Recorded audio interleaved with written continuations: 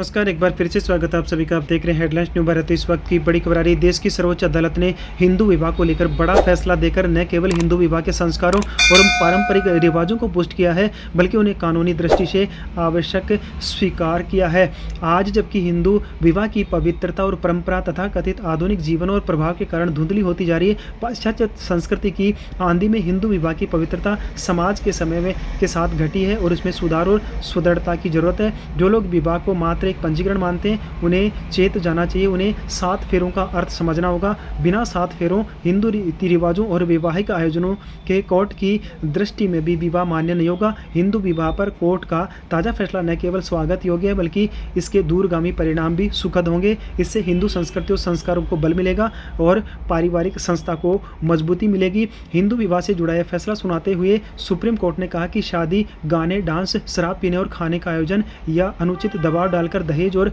Gift की मांग करने का मौका नहीं है। विवाह कमर्शियल ट्रांजेक्शन नहीं है। ये एक गंभीर बुनियादी सांस्कृतिक और पारिवारिक आयोजन है, जिसे एक पुरुष और एक महिला के बीच संबंध बनाने के लिए मनाया जाता है, जो भविष्य में एक अच्छे परिवार के लिए पति और पत्नी का दर्जा प्राप्त करते हैं। ये भारतीय हिंदू समाज व्यवस्था की एक बुनियादी इकाई और मज़बूत सांस्कृतिक और पारिवारिक आयाम है। दरअसल सुप्रीम कोर्ट ने साफ़ किया है कि बिना सात फेरों के हिंदू विवाह को मान्यता नहीं मिल सकती है। अर्थात शादी के लिए हिंदू विवाह अधिनियम में जो नियम और प्रावधान बनाए गए उनका पालन करना होगा। इस तरह कोर्ट ने अपने फैसले में हिंदू विवाह अधिनियम उन्नीस सौ पचपन के तहत हिंदू विवाह की कानूनी आवश्यकताओं और पवित्रता को स्पष्ट किया है। अधिनियम के अनुसार एक हिंदू विवाह किसी भी पक्ष के पारंपरिक संस्कारों और समारोह के अनुसार संपन्न किया जाएगा। समारोह में सप्तपदी यानी दूल्हा और दुल्हन द्वारा पवित्र अग्नि के चारों ओर संयुक्त रूप से सात कदम उठाना शामिल है और जब वे सातवां चरण के साथ लेते हैं तो विवाह पूर्ण और बाध्यकारी हो जाता है। कुल मिलाकर हिंदू विवाह एक संस्था है, संस्कार है और विवाह कोई व्यावसायिक लेन देन नहीं है। कोर्ट ने ज़ोर दिया है कि हिंदू विवाह की वैधता के लिए सप्त सप्तपदी यानी पवित्र अग्नि के चारों और सात फेरे जैसे उचित संस्कार और उससे जुड़े समारोह ज़रूरी है। विवाह की, विवाद की स्थिति में समारोह के प्रमाण पेश करना ज़रूरी है। कोर्ट की सात फेरों और उससे जुड़े समारोह का मूल्य समझने की कोशिश हिंदू विवाह को न केवल मजबूती प्रदान करेगी, बल्कि आधुनिकता की आंधी में धुंधलाते मूल्यों को नियंत्रित करने का काम करेगी। इससे कोई शक नहीं है कि विवाह संस्कार का मूल महत्व पहले की तुलना में कम हुआ है। अब विवाह बहुतों के लिए एक दिखावा, मजबूरी और समझौता भर रह गया है। न्यायमूर्ति बी. नागरत्ना ने अपने प्रासंगिक और उपयोगी फैसले में बिल्कुल सही कहा है कि हिंदू विवाह एक संस्कार है, जिसे भारतीय समाज में एक महान मूल्य की संस्था के रूप में दर्जा दिया जाना चाहिए। पारंपरिक संस्कारों, सात फेरों जैसी रीतियों के बिना हुए विवाह को हिंदू विवाह अधिनियम की धारा सात के अनुसार हिंदू विवाह नहीं माना जाएगा। इस वजह से कोर्ट ने युवा पुरुषों और महिलाओं से आग्रह किया है कि वो विवाह की संस्था में प्रवेश करने से पहले इसके बारे में गहराई से सोचे और भारतीय समाज में उक्त संस्था कितनी पवित्र है, इसके बारे में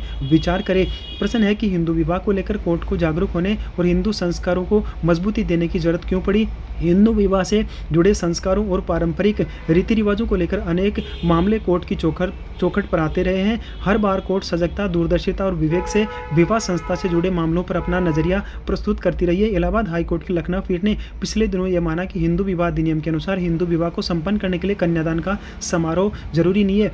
उस फैसले में भी सप्तपदी के महत्व को दर्शाया गया था। मध्य प्रदेश की एक परिवार अदालत के फैसले में महिला पक्ष को यह समझाया गया था कि सिंदूर लगाना एक विवाहित हिंदू महिला का धार्मिक कर्तव्य होता है। सर्वोच्च न्यायालय के ताज़ा फैसले में ऐसी एक समझाइश की कोशिश झलकती है। कुल मिलाकर न्यायालय का यह संदेश है कि फिजूल के तमाशे दिखावे से बचते हुए विवाह के मूल अर्थ को समझना चाहिए। हिंदू विवाह को लेकर अब ज़्यादा स्पष्टता की ज़रूरत है और विशेषतः हिंदू संस्कारों और संस्कृति को बल देने की भी, क्योंकि भारत में परिवार संस्था कायम इसका कारण हिंदू संस्कार और परंपराएँ ही है। इस तरह कोर्ट ने अपने फैसले में हिंदू विवाह अधिनियम उन्नीस सौ पचपन के तहत हिंदू विवाह को कानूनी आवश्यकताओं और पवित्रता को स्पष्ट किया इस पर आपकी क्या राय कमेंट ज़रूर करें चैनल पर नए तो चैनल को सब्सक्राइब ज़रूर करें bureau report, the headlines, new